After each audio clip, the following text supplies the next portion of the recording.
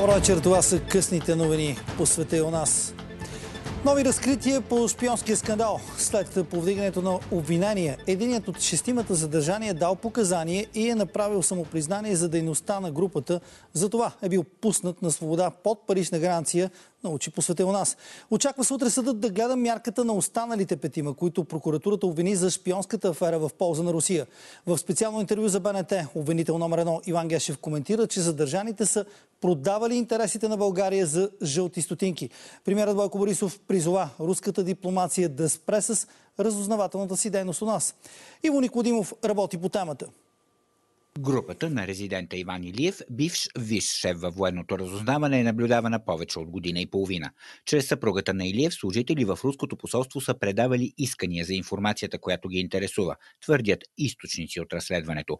Поставили се изискване да знаят всичко за вербуваните, включително детайли за личния им живот, политическите пристрастия и религиозната принадлежност. Една от поставените задачи е била да получат всички данни за координационния център на НАТО във Варна, операциите на Алианса в различни различни региони, данни от Департамента за отбрана на Американското посолство, решенията на различни комитети на НАТО. Става въпрос за дело, което е свързано с, да кажем, чувствителна информация, касаща не само българската национална сигурност, а и сигурността на НАТО, на Европейски съюз, на нашите евроатлантически партньори от САЩ. Това, което мога да кажа, че първоначални данни, как да кажа, групата е била под контрол доста време, така че са направени всякакви мерки, които могат да се вземат така за ограничаване на на проблемите, които може да създаде за националната сигурност. Информацията, до която вербуваните от резидента служители на военното разузнаване са имали достъп, е била филтрирана така, че те да не разбират, че са разследвани и в същото време да нямат достъп до тези данни, които не трябва да бъдат предавани в руското посолство. През десента на миналата година, единият от вербуваните е получил задача да предостави информация за обстановката у нас, както и материали на НАТО, които засягат Русия, Украина и изключително интересния за Кремъл район на Нагорни Карабах. Ако говорим за руско разузнаване в конкретния случай, аз мога да разбера а, дейността им, до толкова доколкото това е една достойна професия, принципно. Не мога, да я, не мога да я приема, защото засяга българската национална сигурност. Това е в общ план, ако говорим за кадрови руски разновачи, по дипломатическо, журналистическо или някакво друго прикрити. Но тук става въпрос за българи. За българи, които продават собствената си страна, за стотинки. Аз го казах. Стотинки са. Съпругата на резидента посещава руското посолство на 25 февруари. От семейния разговор след това посещение става ясно, че работата временно спира. Свърши ли работа, мама? Какво спираме? За една година. Според наши източници, най-вероятната причина руснаците да поставят сътрудничеството с резидента в режим пауза е поредицата от дипломатически служители, които страната ни обяви за персона нон грата заради разузнавателни дейности по отношение на отбраната и превъоръжаването на армията ни. Днес шпионската афера коментира и премиерът. Борисов благодари на службите и главния прокурор за резултатите от разследването. Понеже има едно голямо радиомълчание от другите институции в България, пък доста президенти се изказаха вече по темата.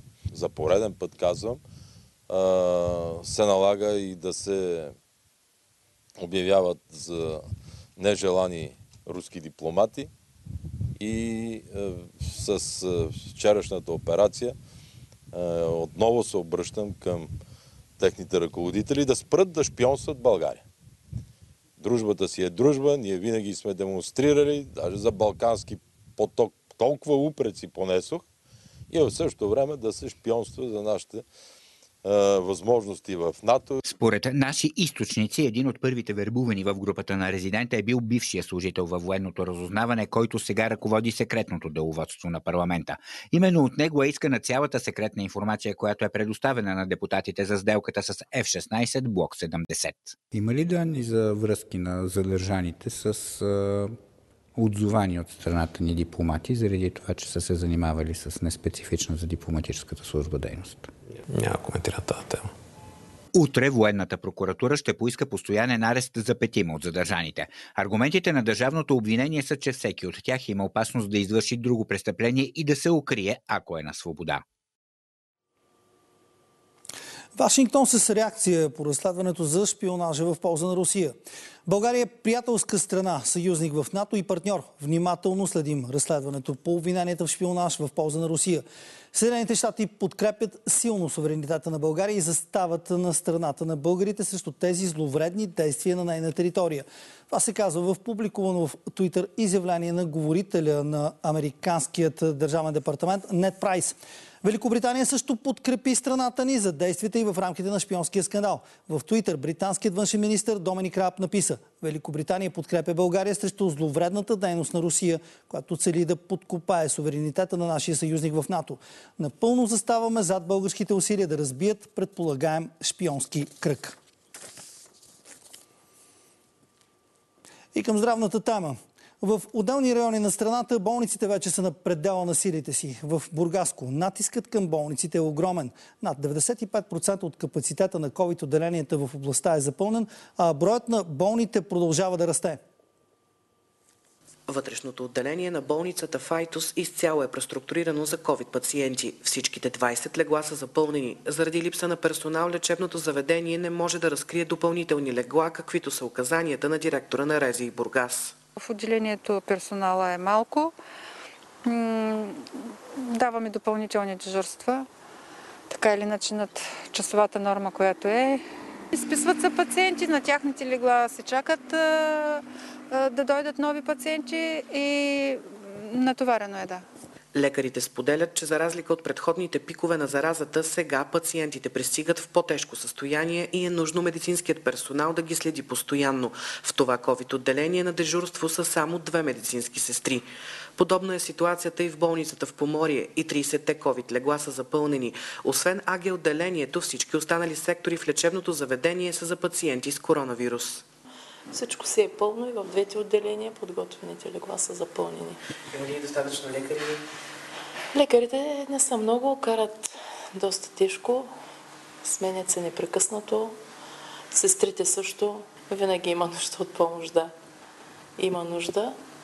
Болниците в по-малките населени места трудно оцеляват и финансово, тъй като отпуснатата клинична пътека за COVID пациент не винаги се оказва достатъчна за лечението.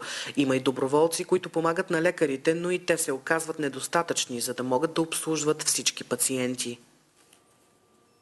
България ще произвежда вакцини срещу COVID-19. Заводът ще заработи до 3 месеца и ще произвежда до 7000 вакцини на час. Това стана ясно след посещение на премиера Бойко Борисов в фармацевтична база в Разград. Инвестицията е за 120 милиона лева. Премьерът посочи, че вече е информирал Европейската комисия за капацитета на новия завод. На европейската карта за вакцинация, защото вашите заводи произвеждат в Штатите, ще могат да произвеждат за Европа. И при този капацитет много държави ще си отдъхнат, защото те докато го построят, ще са с 16 месеца след нас. А ние за 16 месеца ще произведем стотици милиони вакцини. Язовирите в България са с 65% по-пълни в сравнение с миналата година по това време. Това е благодарение на доброто управление, ограничаването на разходите и намалените загуби. Това се посочва в доклад на министра на околната среда и водите Емил Димитров до Министерския съвет. Същевременно се отчита, че валежите тази година са с 12% повече спрямо миналогодишните. А в Австралия проливни дъждове, предизвикаха живото застрашаващи внезапни наводнения по източното крайбрежие. Издадени са заповеди за евакуация на редица райони на щата Нов Южен Уелс, където живее една трета от цялото население на страната. Язовирът, който захранва Сидни, е започнал да прелива за първи път от 2016 година.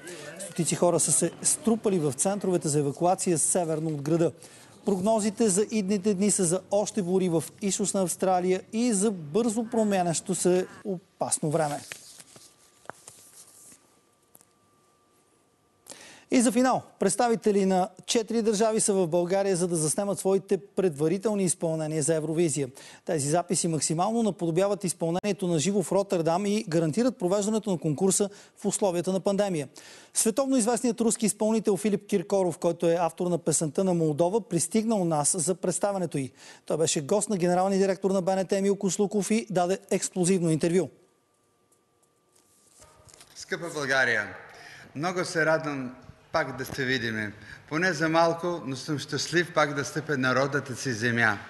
И съм щастлив, че повод един много красив повод. Това е един музикален празник за цяла Европа, който изпуснахме минала година. Това е Евровизия. Аз днеска съм а, не случайно. А, ще представя а, песен на Молдова, на молдовската певица Наталия Гордиенка, автором, който съм, се явявам аз. Песента се казва Sugar, сахар, захар. А захар за мен е едно нещо сладко. А сладко това е... Кое, кое е най-сладкото при нас? Това са нашата родина, нашите близки, любовта. Този конкурс няма граници, песента няма граници. А, ние всички се обединяваме с една идея. В този луд свят да забравяме поне за една вечер за недоразумение, за политика и се, се обединим в една голяма държава по име песен и любов. И естествено, с пожелание още веднъж, голям успех на една много талантлива българска певица Виктория, на която пожелавам голям успех в Роттердам и надявам се да се видим на живо вече след няколко седмици в столицата и в, в Холандия. Дано всичко да стане така, както си мислим. А за сега ви пожелавам само едно здраве. И най-важното искам да пожелая здраве на своите леле и свои чичо, които са от Варно, леле Мари Чичухари, които гледат сега тази програма, се вълнуват много. За съжаление, не можаха да дойдат да седим в София, защото ситуация е такава, че дори не можем да се видим един до друг поради този, тази, тази история с коронавирус. Но надявам се всичко ще мине добре и ние най- най-скоро време ще се видим на Черно море, което обожавам. Обожавам българска музика, обожавам своите приятели, обожавам всичко това, което е свързано с най- най- най-важното в живота. Това е любов. Да сте живи и здрави. Филип Киркоров с вас. Така се разделяме още проверена и актуална информация ще намерите в сайта ни bnetnews.bg, както и в мобилното ни приложение. Спокойна събота вечер!